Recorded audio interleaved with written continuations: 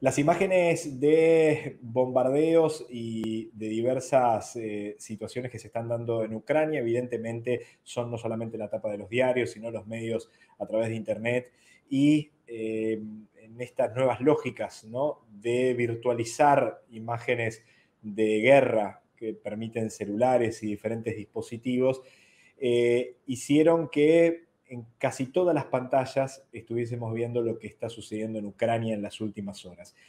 La semana pasada habíamos estado hablando de mundo multipolar previo al inicio ya del conflicto bélico, pero habíamos estado hablando con Mariana Paricio para tratar de entender eh, en qué lugar se quiere poner Estados Unidos, qué rol de poder se está jugando, en qué lugar se quiere poner Rusia, y, nos comentaba algunos detalles, y uno se interesaba seguir profundizando con el tema, así que le vamos a dar la bienvenida para hablar de Ucrania y de Rusia.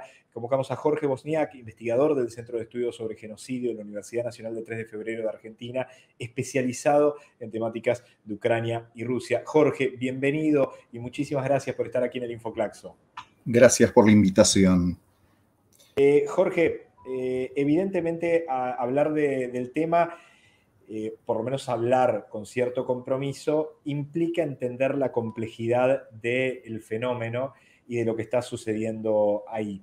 Eh, lo primero que podría agregar al juego es que ya no es un mundo unipolar, ya no es un mundo bipolar, estamos ante un mundo multipolar y esas complejidades están puestas en juego. Lo primero que se, me ocurre pensar o que nos ayudes a reflexionar, digo, es eh, ¿cuál es la dinámica interna de Ucrania previo a las imágenes de guerra que estamos viendo en los últimos días? Porque me parece que nos puede ayudar a comprender un poco más qué era lo que se vivía previamente. Bien, y lo que no se suele mostrar en ninguno de los medios es que la sociedad ucraniana es una sociedad eh, profundamente dividida. Pero cuando hablamos de profundamente dividida, estamos hablando de una grieta que corta la sociedad en dos. Por un lado, tenemos que, te estoy dando datos de principios del siglo XXI del censo del 2001, que fue el último que se hizo. El 40% de la población era cristiana ortodoxa de rito ruso. El 37% cristianos ortodoxos que responden a la iglesia ucraniana no reconocida por el patriarcado de eh, Constantinopla. El resto son judíos musulmanes y de otras prácticas. Paréntesis gigantesco, que se definan como cristianos ortodoxos no quiere decir que sean practicantes, como ocurre en nuestras sociedades donde alguno se dice católico y no va a la iglesia jamás. Eso por un lado. Por otro lado, eh, lo que vemos en el censo es que hay un 30% de la población que se define como étnicamente rusa. Es decir, culturalmente se identifican como rusos. Y esto tiene que ver con algo que viene de la época de la Unión Soviética, donde uno elegía la nacionalidad, es decir, no interesa en qué lugar se nacía, sino con qué grupo cultural se identificaba. Pero esto no es en realidad toda la, diferencia que hay. Según un, un, censo que hizo el Instituto de Sociología de la Academia de Ciencias de Kiev en el 2006, el 55% de la población son rusoparlantes habituales, es decir, no solamente manejan el ruso, sino que lo hablan en su casa. Eh, y lo que tenemos es que después del 2001 se quiso constituir un Estado-nación a semejanza de los Estados nacionales del siglo XIX, es decir, un Estado, una nación, una religión.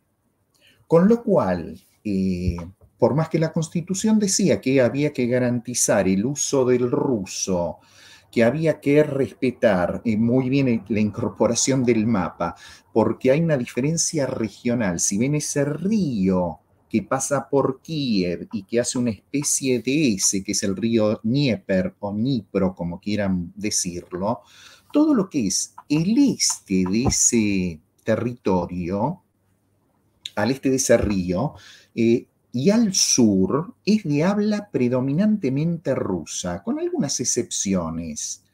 Kiev, que está en el centro, aunque es uno de los bastiones del nacionalismo, tiene un predominio de, la lengua rusa en el habla cotidiana. Para que te des una idea, tres de los cuatro diarios de alcance nacional que se publican en Kiev se publican en ruso. Entonces, por más que la constitución decía que hay que proteger al ruso, al igual que a otras lenguas locales, aunque el idioma, el único idioma oficial es el ucraniano, aunque se reconocen las autonomías regionales, nada de eso se llevó a la práctica. Y hay un avance gradual de los diferentes gobiernos para imponer el ucraniano. Por ejemplo, todos los textos académicos se pueden publicar únicamente en ucraniano.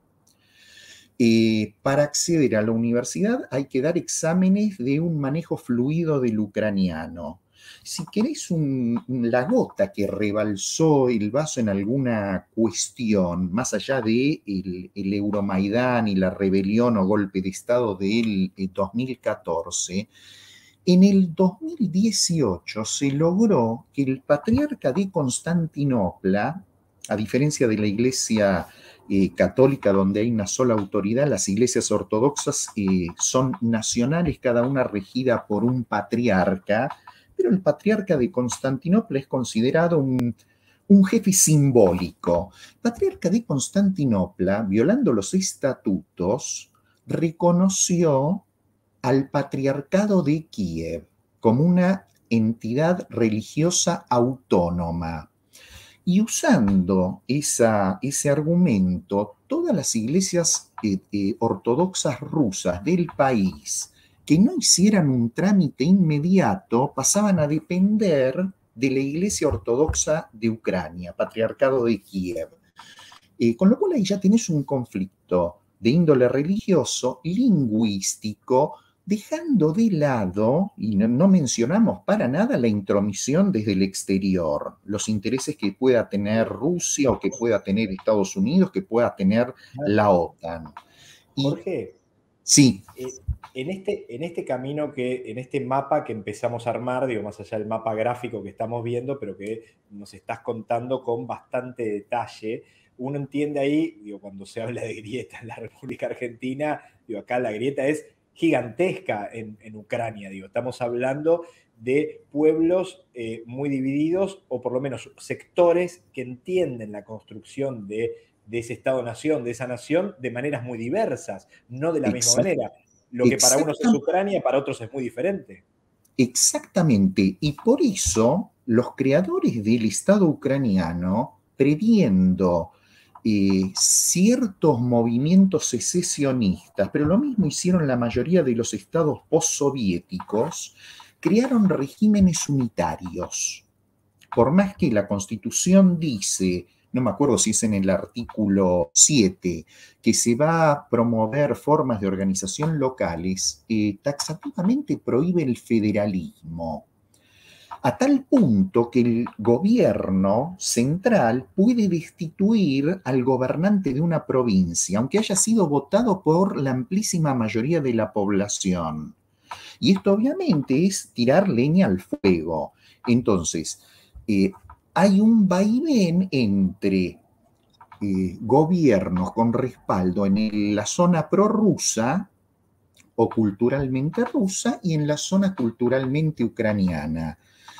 Pero los gobiernos, incluso con respaldo de la región rusa, eh, no necesariamente han tomado medidas para evitar la ucranianización forzosa. El ejemplo más claro ¿sí? es el, actual presidente. Zelensky es eh, hablante cotidiano del ruso. Eh, lo escuché hablar en, las campañas elector en la campaña electoral del 19 y, e incluso en las regiones del oeste, el discurso lo daba en ruso. ¿Qué tanto entendía la población local? Es secundario. Pero desde su ascenso al gobierno, en cuestión de dos años, adquirió un manejo del ucraniano que realmente es extraordinariamente admirable.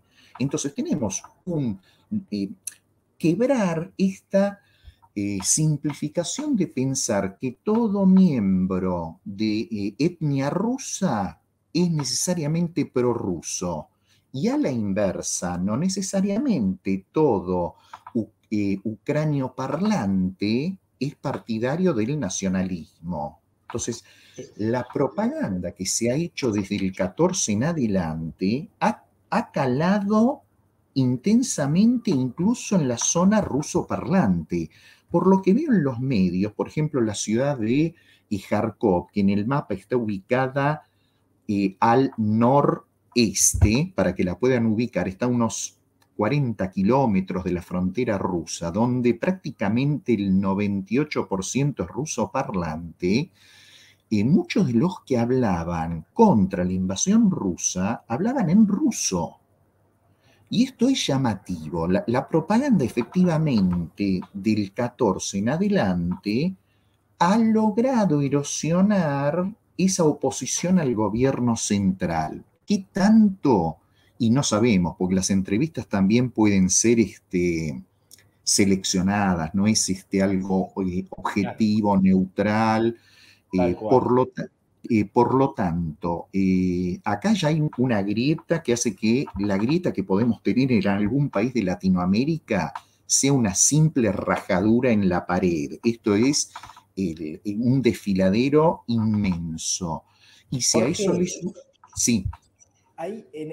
tú nombraste en el 14. ¿Qué comienza en el 2014? Entiendo que no comenzó ahí, pero es el punto álgido el año 2014. ¿Qué es lo que pasa en Ucrania, eh, en, no sé si es este tironeo, si en esta puja eh, relacionada entre Ucrania y Rusia. Digo, ¿qué es lo que sucede que, eh, y cuánto de conexión tiene con lo que estamos viendo en estos días? Es la conclusión lógica, diría. Del 2005 al 2010 gobierna un líder pro-occidental que ganó una elección dudosa después de que se anularon las anteriores, que es eh, em, Yushchenko. Ahora, su gobierno fue tan desastroso que ganó el candidato opositor que era el prorruso Yanukovych. Yanukovych hizo una política pendular coqueteó con Occidente y coqueteó con Rusia. Trató de obtener concesiones de ambos, es decir, una lógica, si queremos decir, de un político hábil, independientemente de lo que pensemos de su gobierno, ¿no? obtener concesiones de los dos lados. Trató de lograr un acuerdo con la Unión Europea, trató de obtener créditos de Occidente, cuando quedó claro que no le iban a dar ningún tipo de concesión, Rusia ofreció integrarlos en su unión aduanera y darles un crédito inmediato de 10 mil millones de dólares. Eso implicaba anular el ingreso a la Unión Europea. Esto hizo que se movilizaran los sectores nacionalistas, y cuando hablo de sectores nacionalistas es un, un espectro amplísimo, desde nacionalistas moderados, sectores pro-occidentales, pero también los pronazis. Cuando se habla de que hay sectores pronazis en Ucrania, sobre todo en Ucrania occidental, no es una exageración propagandística. El batallón Azov está eh, formado por grupos que usan como divisa lesbástica y otros símbolos que vienen de destacamentos de las SS. Entonces, en este eh, conflicto que estalló en Kiev, negándose a la eh, integración económica con Rusia, el gobierno termina cayendo. ¿Es una movilización popular o es un golpe de Estado? Y, y, acá tenemos la interpretación que quieras darle. Para Rusia eso fue un golpe de Estado, para Occidente fue una movilización por la libertad y la democracia, etc. Ahora, en ese contexto, las regiones prorrusas, que obviamente se iban a ver perjudicadas por un gobierno de derecha, iniciaron un proceso exigiendo autonomía. Si se fijan, en, tenemos ahí marcado en rosa, naranjado rosado, las zonas que controla Rusia o son repúblicas reconocidas por Rusia.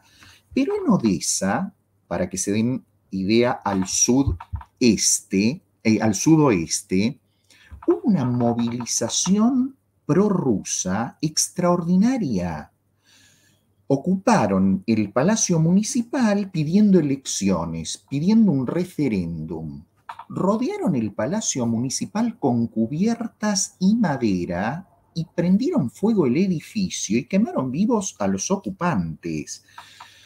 Se calcula que murieron entre 40 y 100 personas calcinadas vivas. Ese es uno de los eventos que tenemos filmados, pero algo similar ocurrió en la zona del Dnipro, ocurrió en Kharkov. Hubo realmente eh, matanzas en mayor o menor medida de todos aquellos grupos que pedían cierta autonomía o la anexión a Rusia. Ahora, eh, lo que estamos viendo ahora que en realidad esto empezó en marzo del año pasado, cuando el gobierno de Kiev moviliza tropas hacia el este, queda claro que iba a haber una ofensiva, que iban a resolver frente a la caída de la popularidad de Zelensky, para que se den una idea, ganó las elecciones con el 73% de los votos, con la promesa de solucionar el conflicto pacíficamente y de proteger el idioma ruso. Eso fue parte de su eh, campaña, de sus propuestas electorales, y no tiene nada que ver con lo que hizo después. A menor popularidad, mayor belicosidad con el este. Repito, en marzo del año pasado parecía que el ejército ucraniano iba a entrar a la fuerza en Donetsk y Lugansk. Frente a esa situación, el, gobierno ruso movilizó tropas en la frontera.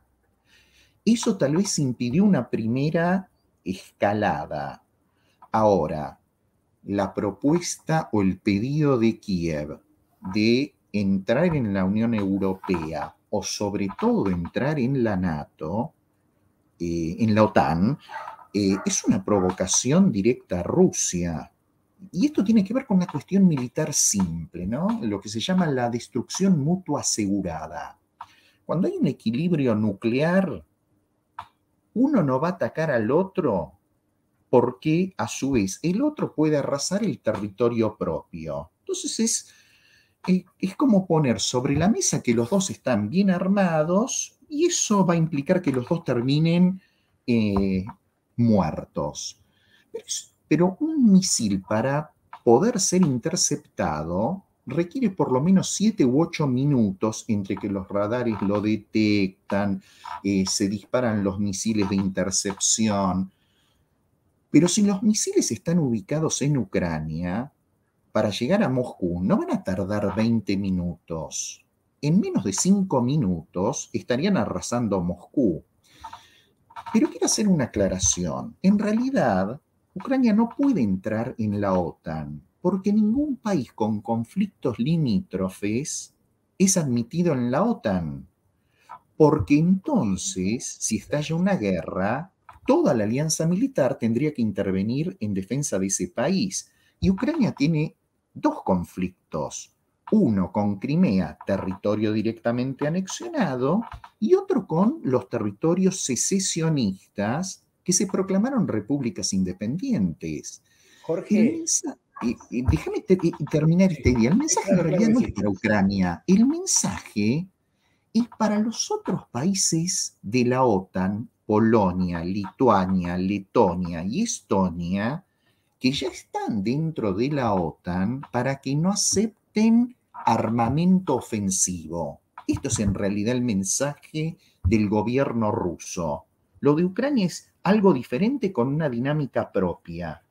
El mensaje es para el resto. ¿Mm? Eh, en este, en este camino, en este mapa que nos estás eh, dando muy, muy completo y clarificador, digo, eh, ¿en qué posición quiere quedar Rusia con esta situación? ese, Ucrania era un poco el, o servía un poco como el colchón eh, frente a la Unión Europea? ¿En qué lugar está jugando Estados Unidos con la intención de recuperar algo de fuerza y poder, digo, con crisis económica interna, con crisis internacional.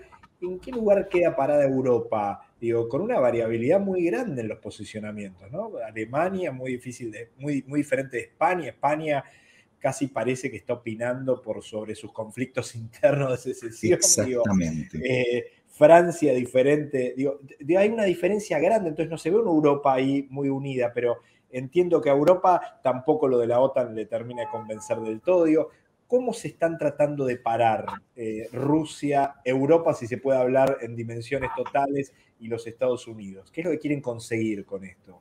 Bueno, primero quedó claro qué es lo que quiere Rusia. Quiere un colchón de estados que aunque sean miembros de la OTAN no tengan material de ataque estratégico. Y el mensaje también fue para Finlandia y para, Suecia. ¿sí? Digo, el mensaje es para todos los vecinos, incluyendo los del sur. El mensaje es para eh, Georgia, para Rumania y para Bulgaria. Es un mensaje clarito. Hay una línea que no pueden cruzar porque esto es motivo de guerra.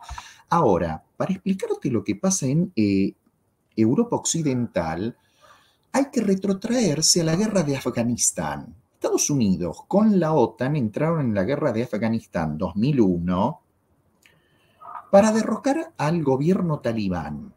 Después de 20 años de guerra, cuando queda claro que es una guerra que no van a ganar, Estados Unidos, el gobierno de Estados Unidos por su cuenta, Trump, negocia con el talibán que retomen el control de Afganistán. No negocia en nombre de la OTAN, negocia en nombre de Estados Unidos y pone a la OTAN ante un hecho consumado.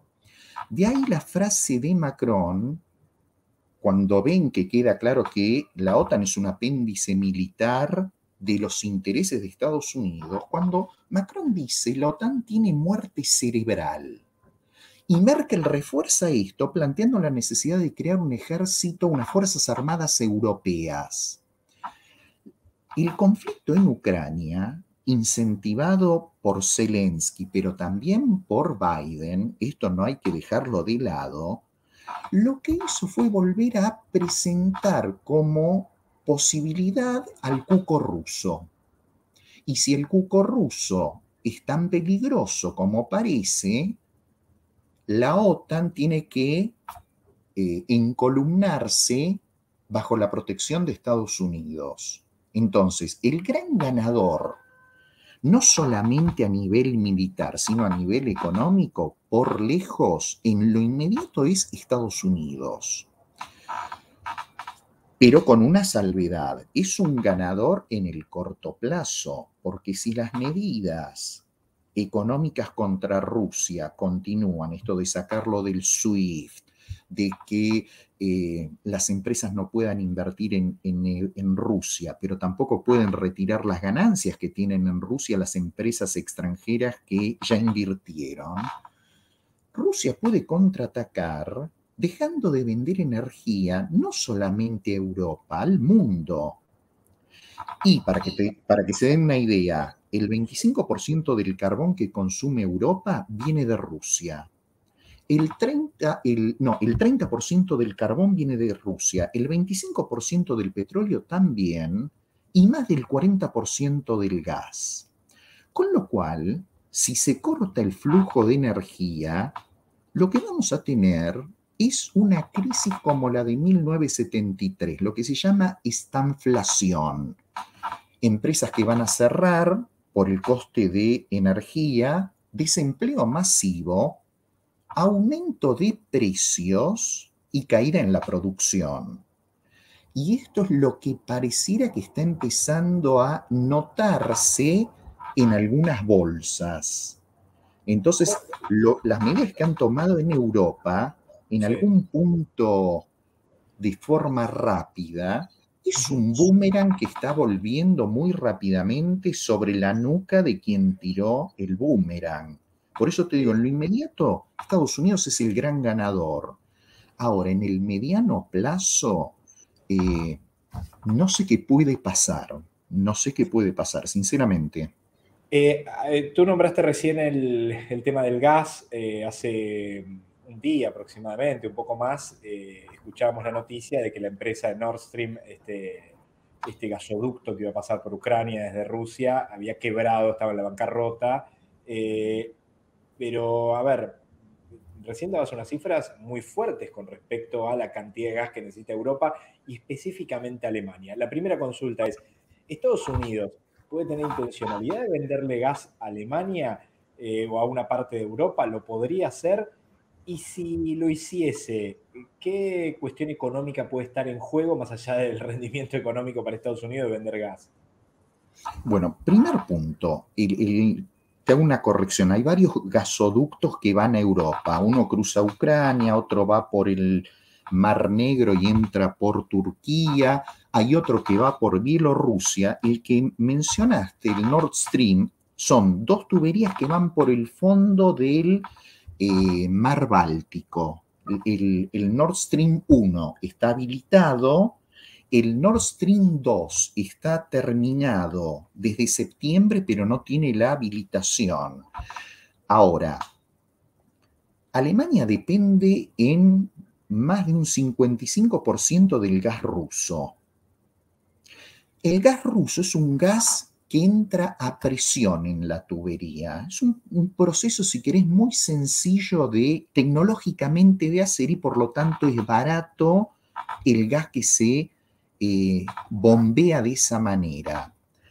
Lo que Emiratos Árabes Unidos hace o Estados Unidos hacen es lo que se llama el gas licuado. El gas licuado es someter el gas a una presión tan grande que se convierte en líquido.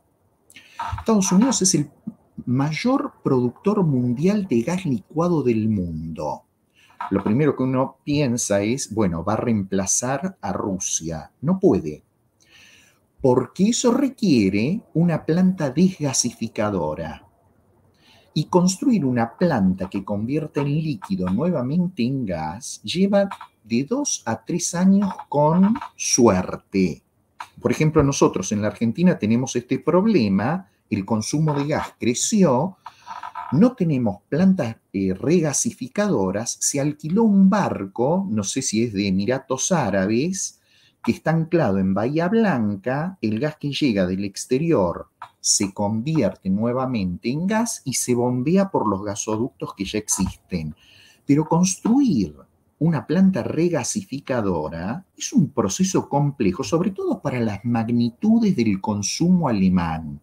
Por lo tanto, es, interesante si estuvieron escuchando algo de la exclusión de, de Rusia del sistema SWIFT, de este sistema de pagos internacional, le excluyeron de todo tipo de transacciones, excepto cobrar la energía que vende en Europa. Porque es claro que Alemania no puede, Alemania, Italia, Austria, Hungría, y, podemos hacer una lista eh, numerosísima de países que no pueden eh, reemplazar el gas ruso en lo inmediato. Estaba leyendo recién una noticia en un periódico ruso llamado Kommersant, que es un periódico especializado en negocios, donde el autor decía algo que era obvio. Dice, ojo que la situación que tenemos ahora no va a ser permanente. Queda claro que para los próximos años Europa va a tratar de bajar la dependencia del consumo, de esta dependencia que tiene del gas ruso. Por lo tanto, tendríamos, dice el autor, una ventana de 10 años entre las necesidades imprescindibles que tienen ahora y que ellos puedan crear alternativas de sustitución. Y en esos 10 eh, años, obviamente, la situación de Rusia cambiaría en todos los planos, porque ya no sería un jugador de peso para Europa, pero al mismo tiempo ¿a dónde iría todo ese gas? Y todo ese gas iría para China seguramente. Con lo cual se estaría reforzando esa alianza entre China y Rusia, que en lo inmediato es peligroso para Estados Unidos, pero también es peligroso para Rusia, porque si va a ser el único comprador del gas, China puede imponer condiciones. condiciones no solamente de precio en gas, petróleo y otras materias primas, sino en tecnología de punta que no maneja y que podría obtener de una transferencia de cualquier gobierno ruso en el futuro. Siempre doy un ejemplo cuando quiero que, quede claro esto. Eh, un motor de un avión de combate estadounidense ruso es un 15% menos potente que uno estadounidense, pero cualquier motor chino de los más modernos es un 10 o un 15% menos potente que uno ruso. Con lo cual, todos esos aviones de última tecnología que producen tienen un talón de Aquiles, que es un motor que consume mucho y en relación a un estadounidense de muy baja potencia. Por ahora Rusia le vende los motores, pero no le transfirió la tecnología. Pero ¿qué pasaría si China es el único comprador de las exportaciones de gas, petróleo y carbón de Rusia? Ya no sería una negociación entre socios, sino que uno de los socios le puede imponer condiciones al otro. Tal cual, tal cual, tal cual. Qué tremendo, Jorge. Me, fascina cómo, cómo fuiste hilvanando en toda esta charla, porque nos da la posibilidad de entender esta lógica, lo que hablábamos al principio, que es la lógica multipolar, pero sobre todo, digo, la dificultad de pensar que algo no está relacionado con otro algo, con otra situación en otra parte del mundo, y a veces perder esas complejidades no solo hace una lectura más torpe, eh, y menos compleja, sino posiblemente eh, no le da la profundidad necesaria para entender lo que está sucediendo. Jorge, no solo te agradecemos enormemente, sino este, ya te convocamos para volver a molestarte este, dentro de no mucho tiempo, si es posible, para que nos puedas dar algunas ideas más, sobre todo para ver cómo evoluciona esta situación, que entiendo que es muy dinámica, este, que puede traer ciertas novedades en cualquier momento, pero nos interesa tu, mirada aguda para poder comprender un poco qué es lo que está pasando ahí. Gracias en serio por este encuentro. Gracias a ustedes por la invitación.